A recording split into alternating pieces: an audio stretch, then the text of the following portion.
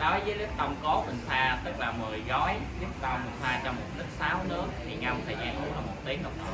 Ngâm xong thì vớt ra nhớ vớt ra nha, không vớt ra là cái màu lít tông nó bị đục, thứ hai là bị chát lít tông nó bị đắng.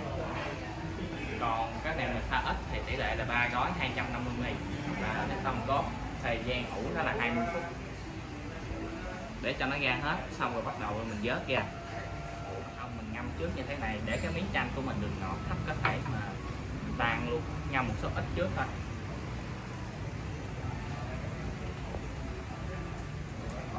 Về món thứ hai mình chọn là táo ép. Thì táo ép thì uh, sử dụng táo đỏ nhiều hơn chứ sử dụng táo xanh. Tại táo xanh thì cái nó bị luôn không có cái hạt ngọt nữa. Ép cái này có khoảng là hai trái tùy theo trái lớn trái nhỏ nữa. Nhưng mà khoảng hai trái như thế này là mình phải được trăm ly nước táo ép của mình bán cho một ly thì khoảng năm ly chắc ly ép thì uh, mình để vỏ thì cũng được nhưng mà biết sao không? Nếu ép mình để vỏ nó ra cái màu trong kia nó đục đục có cái đầu còn mình gọt nhỏ thì lấy cái màu trâu chứ thứ hai là trong lúc ép táo thì mình sẽ có một cái lưu ý như thế này tức là để ngoài gió họ sẽ bị đen.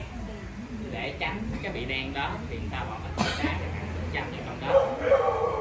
Nhớ táo thì đổ ra ly thao tác càng nhanh. Thứ hai để tránh bị đen đó thì bỏ mình đá để chăm vô cái ly rót ở dưới đó. Vừa ép ra nó nhiễu xuống liền nó sẽ không bị đèn táo dạ.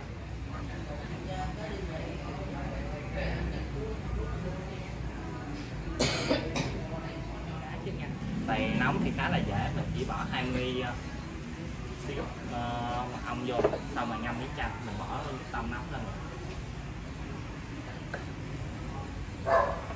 60 mì đường nước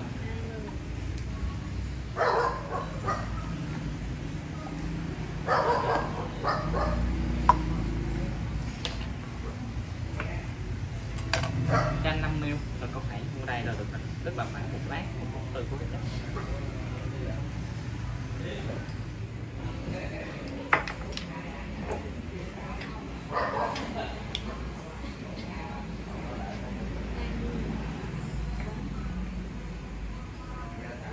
nhớ cái gì mình đã thử rồi thì đừng không có đút cái đó vô thử lại cho khác nha. Một lần, một thôi. Vệ sinh an toàn thực phẩm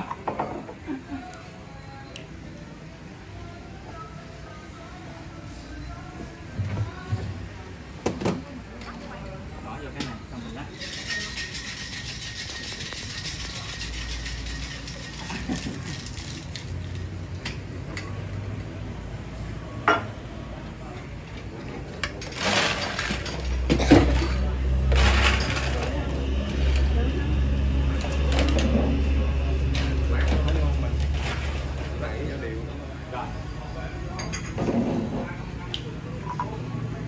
thêm 10 ml mật ong sao?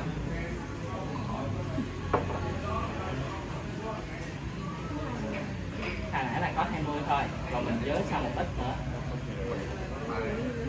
10 ml nữa. Thì cho lên ong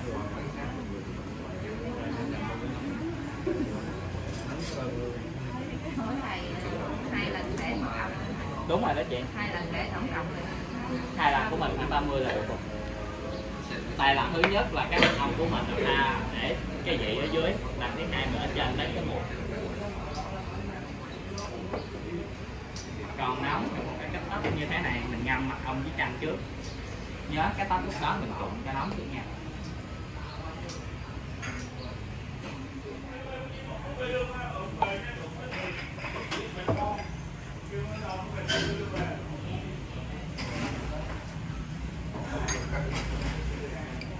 ta kêu uh, Lipton chanh mật ong nóng thì mình làm vậy nha. Mình làm như vậy. Nhưng mà cái thao tác này là sai nha. Tại sai ở chỗ nào? Cái tách của mình chưa có chịu nóng. Tại nãy giờ mình cho ngâm mật ong đúng ra thì mình ngâm mật ong với chanh riêng một tách rồi cái kia một tách mình ngâm với ong riêng sau mình mới để vô.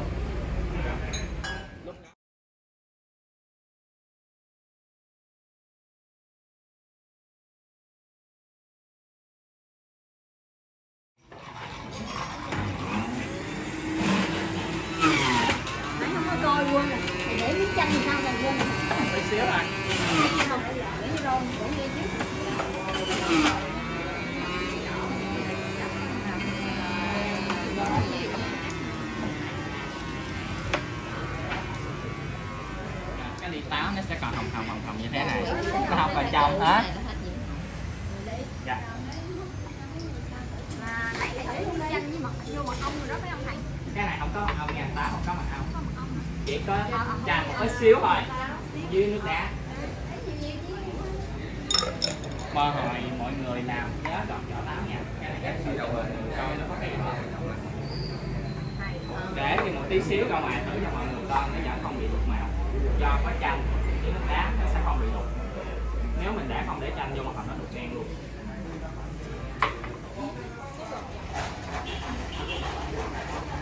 Đường đúng rồi gốc mình bán mà mình phải có đường, rồi cái nào mình uống là mình không có bỏ đường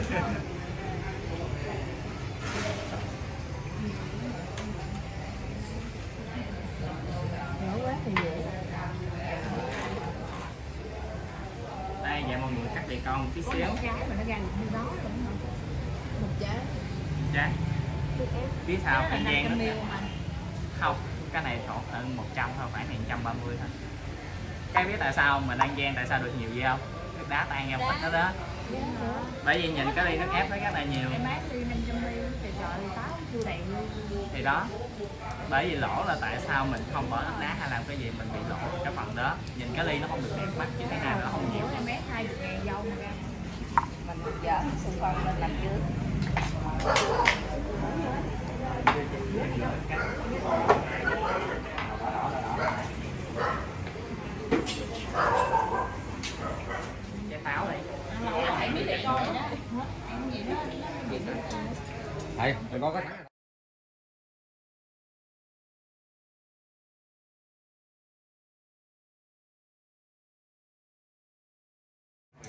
bây giờ thì nói chung giá bán nó cũng tương đương nhau à không có rẻ hơn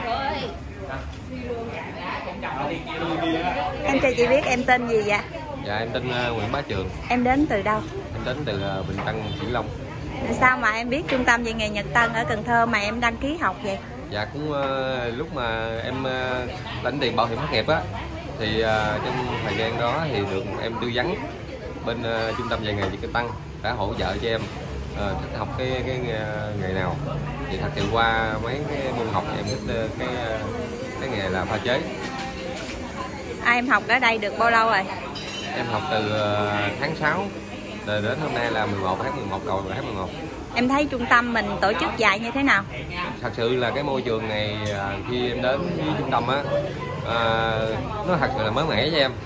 Nhưng mà qua được cái được cái người hỗ trợ là thầy Giang và cô Diễm. Và được à, gặp thầy à, mà thực tế của mình luôn á là thầy dạy mình á. Thì thầy Thanh với thầy Thiên thật sự hai thầy rất là vui và cái sự trao đổi của, của họ rất là nhiệt tình với mình. Cảm ơn em.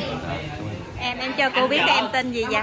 Kẻ em là Trương Nguyệt Tuyết em à, đến từ ờ, đâu mà đăng ký trung tâm mình nè. Dạ em đến từ Bình Minh à, cũng xa ha. Dạ. Sao mà em biết được trung tâm à, Nhật Tân ở Cần Thơ mà em đăng ký học vậy? Qua cái thời gian mà nhận tiền bảo hiểm thất nghiệp thì cuối nó giới thiệu để học một cái nghề. Em mà học thời gian được bao lâu rồi? Dạ em học thời gian khoảng 3 tháng em thấy trung tâm mình tổ chức dạy như thế nào có tốt không? Em cảm thấy là rất là tốt. Cảm thấy môi trường này rất là thân thiện và học được rất là nhiều. Em có dự kiến gì sau khi học không? Em dự định sẽ mở một quán cà phê nhỏ. À chúc em thành công nhé. Cảm ơn em